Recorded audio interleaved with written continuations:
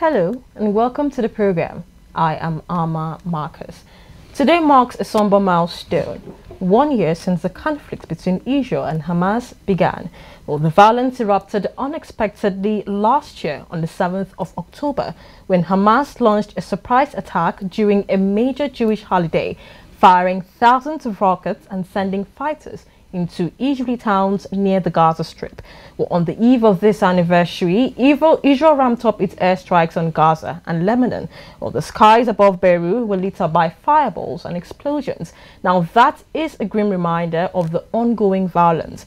As of today, nearly 100 Israeli hostages remain in Gaza, with less than 70% believed to be alive. Well, the Israel's military also announced that 726 of its soldiers have been killed in the past year, including 380 in the last year's attack and 346 in subsequent fighting. Well, the Gaza Health Ministry on its part reports over 41,000 Palestinian deaths since the conflicts began, although the figures did not specify how many were fighters or civilians. Well, on the show this afternoon, we have Mr. Mathew Omale. He is an international relations specialist. Welcome to the show, sir. Good afternoon. Good afternoon, sir. All right, so let's start with Israel now. So Israel has argued, you know, on its part that uh, the one-year military campaign in Gaza is, which has now spilled into Lebanon, is in line with its rights to protect itself from aggression. Well, looking at the death toll right now, which stands at 41,000, according to the Palestinian Health Authority, is that right still justified? Well, um, Hamas is still holding on to hostages. And um, the issues that are in dispute have largely not been resolved. Hamas continue to pose a major threat to Israel. Israel is fighting for her existence, and therefore you cannot wholesale fault their military action against those who wants to wipe them from the face of the earth. That is just the basic truth. Um, Israel was provoked by the events of October 7th last year everything was going on very well. Negotiations were going on with Saudi Arabia and several of the Arab countries. And then all of a sudden, Israel was attacked, losing almost 1,500 of her citizens in a brutal attack by Hamas. Israel makes it a point that it's not fighting the Palestinians, it's not fighting against um, the Arab world.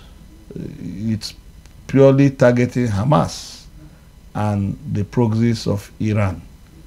So when you when you look at the activities of Iranian-backed terrorist organization, if you look at the activity, it's really worrisome because Hamas slogan is "Death to Israel." That is their slogan, and um, this hard stance of Hamas has led to the current upheavals in the Middle East. Um, how it is going to end, nobody knows. But I listened to uh, President Netanyahu. He has consistently said that once the Israeli hostages, about 100 of them that are left, either dead or alive, once they are released, then there will be ceasefire. That has not been done. Mm. And um, the, I agree with you, the casualty figure is high 41,000 is really very, very high. But again, according to the Israelis, the hostages, uh, the, the, according to the Israelis, the Hamas have been using their citizens as human shield. Most of the people killed were killed in the cross in the crossfire. I don't want to. I am not. I'm not trying to defend Israel, but I know that the Israeli has claimed that most of those that have been killed were those that have been either their their, their residences are being used by Hamas to attack the Israelis, or tunnel shafts have been dug beneath such buildings. Um, you know, this war is not a physical war where you are fighting with non-army. It's like a guerrilla warfare. Mm. And um, Hamas are mixed with the civilian population. So definitely the casualty will be very, very high. Uh, to, when a military operation of this nature is being held. In fact, there was um, one of the dead hostages or some of the released hostages were being held in residential buildings, in people's homes. Uh, so that shows you that um, this war is not the normal conventional war that we know between two military. You are you, what you have on your hand. You have guerrillas, you have um, faceless people, you have people disguised and mixing with the civilians, and that is why the casualty is very high. Mm. But Israel has assured that they have been doing all within their powers to ensure that um, the casualty figure is low. Now, if you look at if it were not the Iron Dome and the the the uh, David Sling, Yeah. when Hezbollah fires their rocket, they don't know wherever the rocket is going to land. So if Israel has not gotten this defense system, probably the casualty, even on the side of Israel, would have been high. Don't forget that when the attack of October 7 happened, homes were attacked, civilians were slaughtered, innocent people, families were also slaughtered. So uh, it's a tit for tat uh, situation which the world has been condemning, and everybody is saying there need to be ceasefire. But how will there be a ceasefire when hostages are still being held?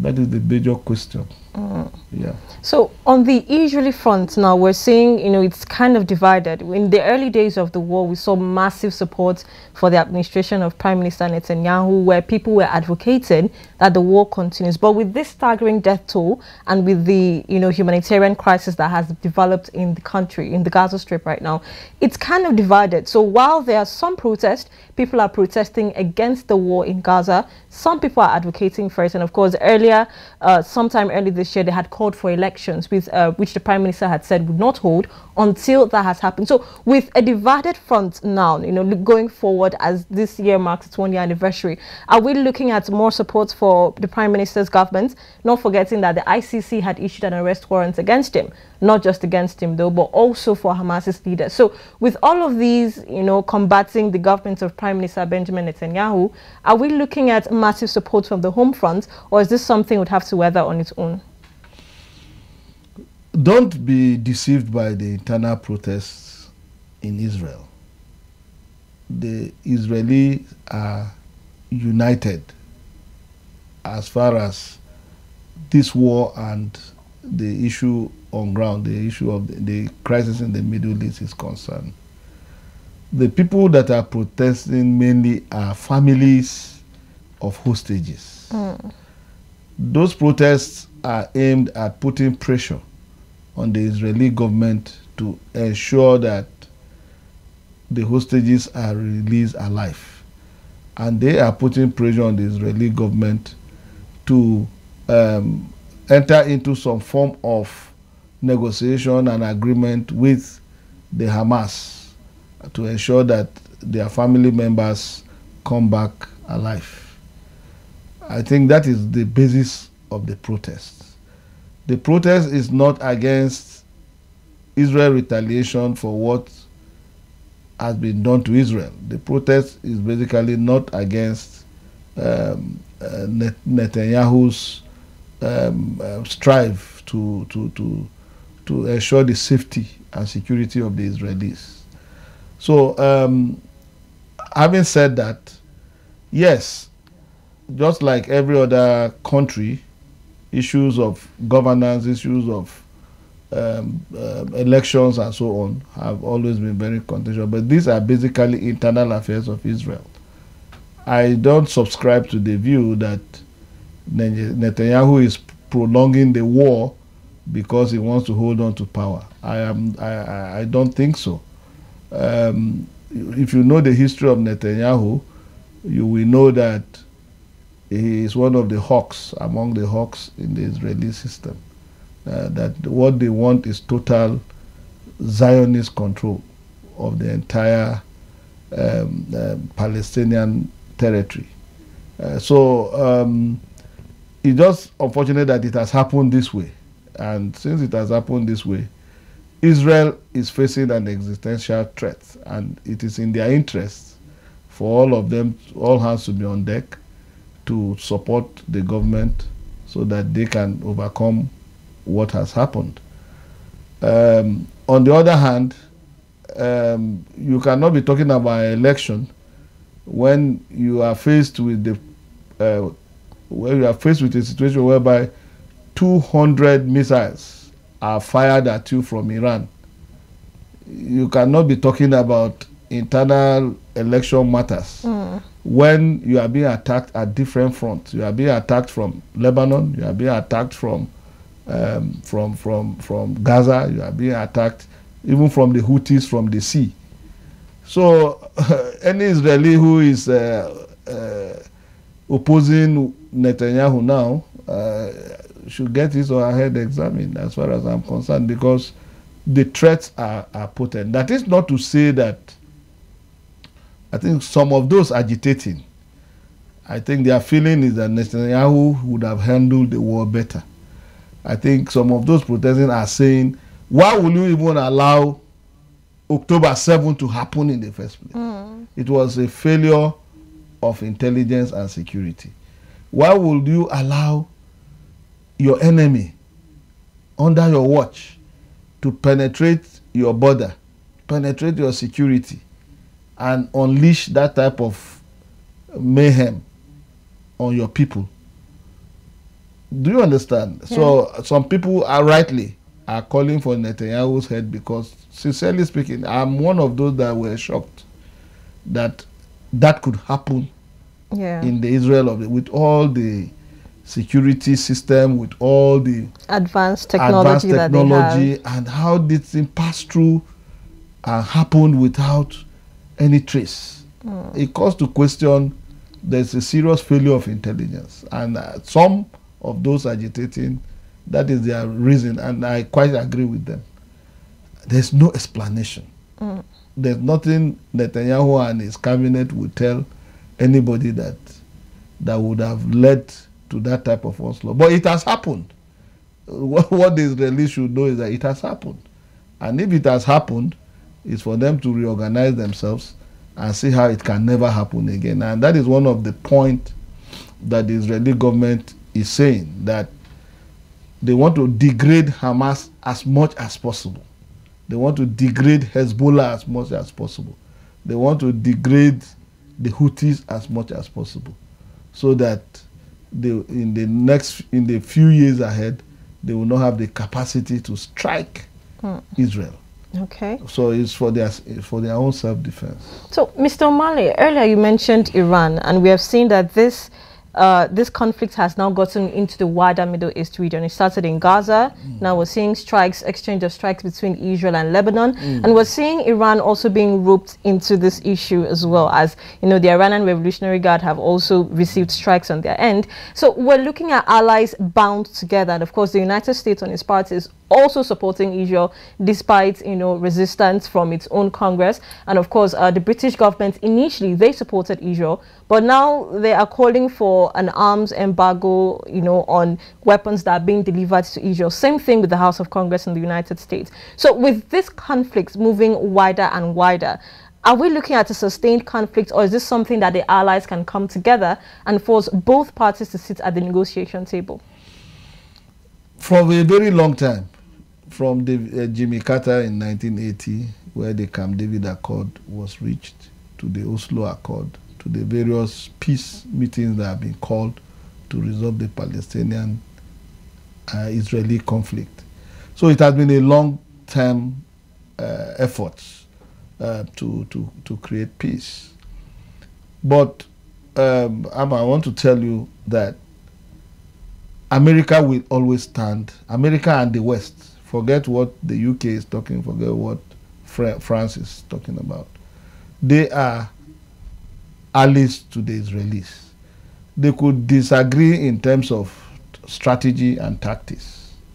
They could disagree. But when the chips are down, they are not going to abandon the Israelis.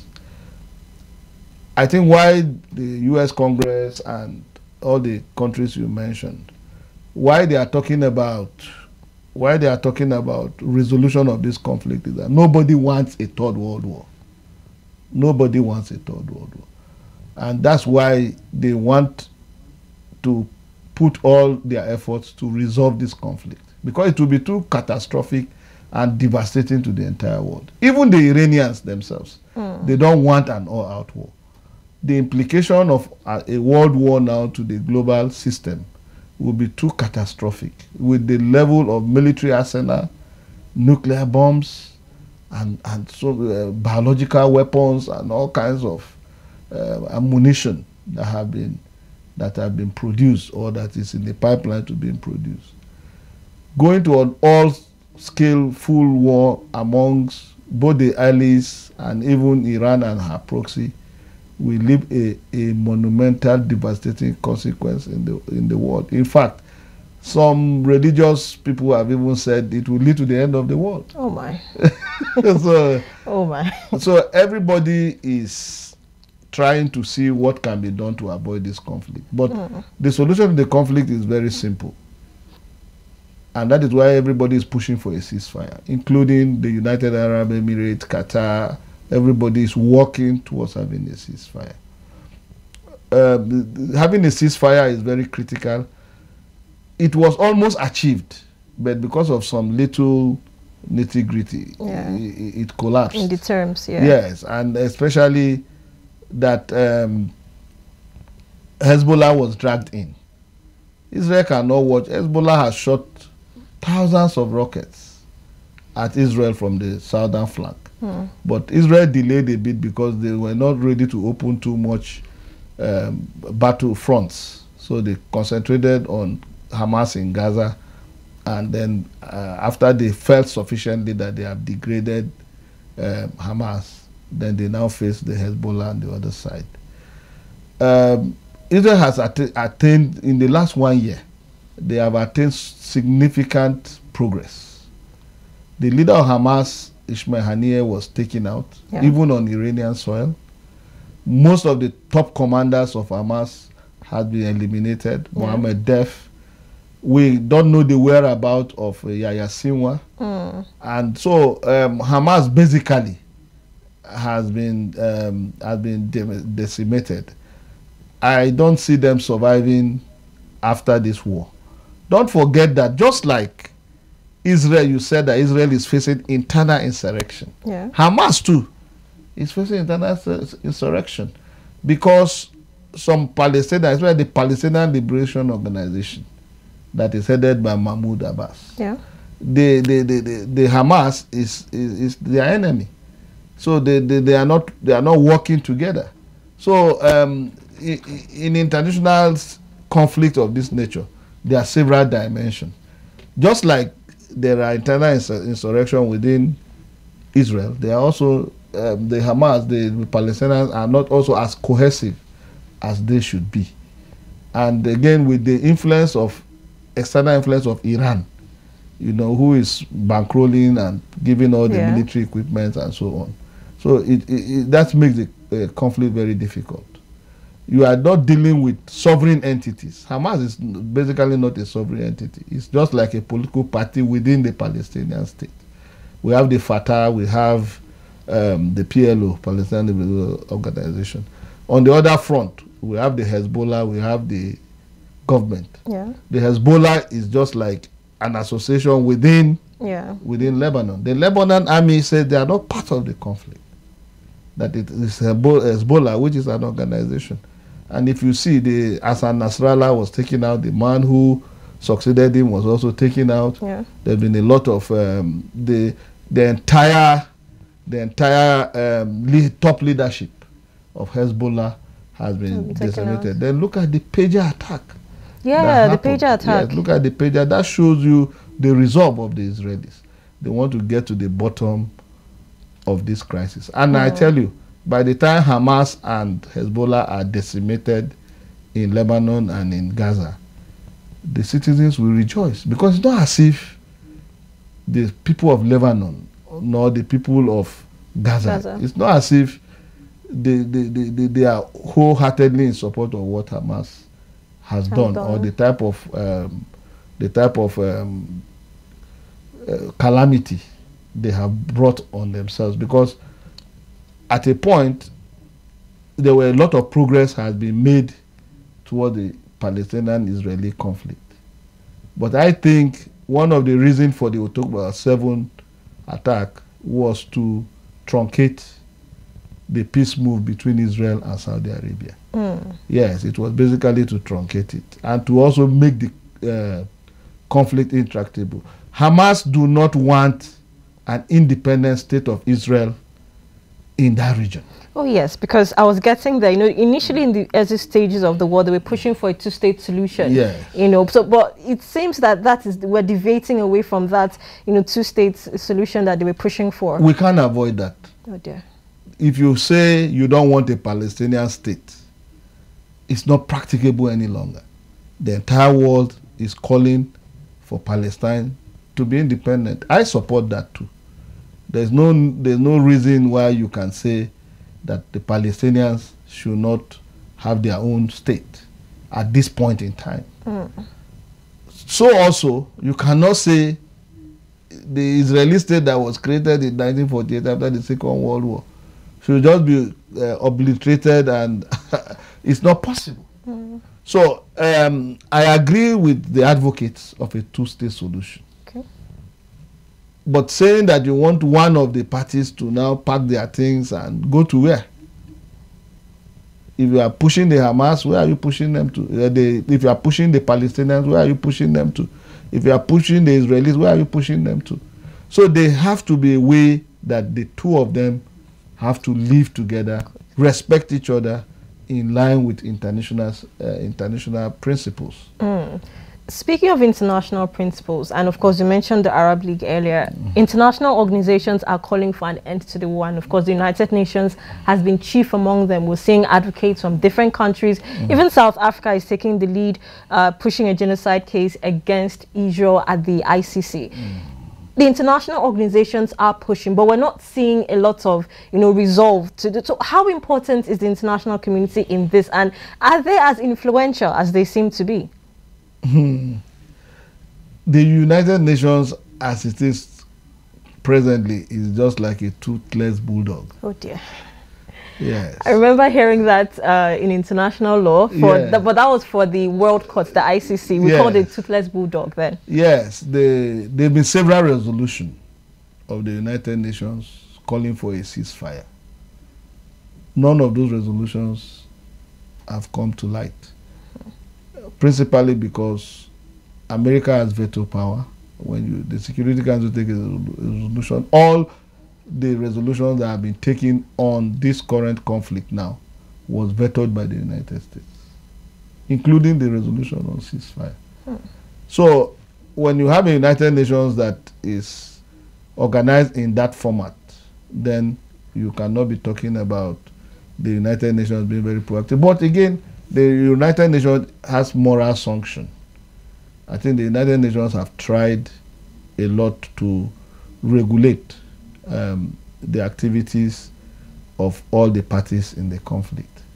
But it is handicapped by institutional mechanisms that do not allow it to just go in and deploy peacekeeping forces and so on. Like I told you, all the permanent members of the Security Council have to agree before such intervention can take place. But the interest is so huge, even among members of the Security Council, the principal uh, people that can take this decision. At the floor of the General Assembly, yes, you could. The General Assembly is is, is a bit powerless because the major power is with the Security, Security Council. Council, yeah. So it's very powerless. Even you talked about the ICJ. Netanyahu cannot be arrested when the countries that have the veto power and control of even the ICJ um, um, are backing him. Exactly, So- because sorry to cut you, because I saw, um, you know, Netanyahu. Normally, if you leave your country, countries, other countries are, you know, for example, he went to the United Nations General Assembly, which happened in New York a few weeks ago. as according to law, it's expected that you know the the government of you know the United States would bundle him and hand him over to the ICC because he's now out of his country. Why but we you, didn't see that happen. Why and you, he was out of his country. Why will you bundle Netanyahu? What of Putin? Exactly. I mean, the, the, same thing is in, yeah. we can see that. So we almost see that the jurisdictions and the you know the things that are put out by the ICC, it doesn't, it's not carried out, and it's only being carried out against African countries. But there's that bias when it comes to the allies of countries on the western side. Yes, that that is one of the major problems with um, international law as we see today, the selective or disrespect for international law. Hmm you cannot say eh, you cannot hold any one person. Is brazenly being done by everybody. So and that is where the issue of morality comes in. Uh, you, russia is a member of the security council. Look at what they are doing in ukraine. Look at britain iran themselves. Most of the resolution taken. Even the lebanese resolution 1701 that was taken that said look the the Hezbollah should be disbanded. They should yeah. they should move into. They should allow the Lebanese security to take charge and so on. Has it been respected? No. Several resolutions that have been taken on Hamas, even designated even a terrorist organization, have all those been followed. So there's a lot of uh, politics involved in this matter on every side, on all the sides and that is why it makes the whole thing even more complex. But like I said, the world is not ready for any major after the COVID-19 for any other shock that mm. is going to come. We have too many problems in the world now that having another world war will not be will not be desirable. Okay. So everything has to be done to put the this crisis to nip it in the bud. But the first move is to get the hostages released. Secondly, allow the two-state solution. The Hamas have to agree that Israel should survive. Also, Israel should also know that there's nothing they can do. Hamas, uh, Palestinians should also be able to have their independent statehood. With that, the crisis will be resolved. But the first way to go first is to have a ceasefire. Because once there's a ceasefire, tension will begin to cool down. Um, uh, things will begin to stabilize. And then they go to the negotiation table and discuss the nitty gritty of how the two state solution can be implemented. But first and foremost, the ceasefire has to be done. But what will what will expressly lead to this ceasefire is if the hundred hostages that are still there are released by Hamas and um, sh the shooting of rockets by Hezbollah and other proxies into Israel ceases. I think with that, Israel can be prevailed upon to also shield their sword, and then they can all go to the negotiation table to see how the state two-state solution can be implemented. Mr. Omale, it's been a pleasure having you on the show today. Oh, thank you. We appreciate you for giving your updates on this current crisis. Mm. And we hope that we won't have to mark another year of the conflict. Hopefully. Hopefully. hopefully. Uh, because already everybody is wary. I know that Iran, Iran too, uh, they will not want an war, all-out war um, everybody should be tired of the conflict now. And like I said, once the hostages, the remaining hostages are released, I see no reason why they cannot go and sit on the table and arrive at it. Nobody wants to go. Let me tell you something about international negotiation. Okay. Nobody wants to go to the table from a position of weakness. Mm. Yes. Israel wants to ensure that by the time they are going to the negotiation table, the Hamas would have been so weakened that they would say yes. Whatever they say at the table, everybody will say yes. So and, if, and even Iran and um, the, the, the, the, the, and their proxies, they too, they want to so much inflict pain on Israel to the extent that by the time they go to the negotiation, just like you said, the Israelis are putting pressure. By the time they go to the negotiation table, everybody will be tired. So all wars at the end of the day, Second World War end on the negotiation table. First World War led to the Peace of Westphalia. Yeah. Second World War, you know, like that. So that is the story of wars. Uh, wars would definitely, no matter how, no matter how long, at the end of the day, it will still lead to the negotiation table. Most of the changes in the world happen after the major war. Even before the, the, the 19th century. Yeah. Yeah, the 30 year old war in, in, in Europe ended with the Peace of Westphalia. And, and so every war must end on the negotiation table and will lead to a drastic decisions that will be taken. Okay. Yeah. Mr. Omale, thank you for joining the show today. We really appreciate you. Thank you very much. And it's my pleasure to be here. Okay, thank you. So you've been watching Global Digest, and of course we have been speaking with Mr. Mathew Omale. He is an international law expert, and we have been speaking with him as Israel marks one year of the conflict with Gaza. Well, we'll have more news and developments to come later in the show. To stay with us.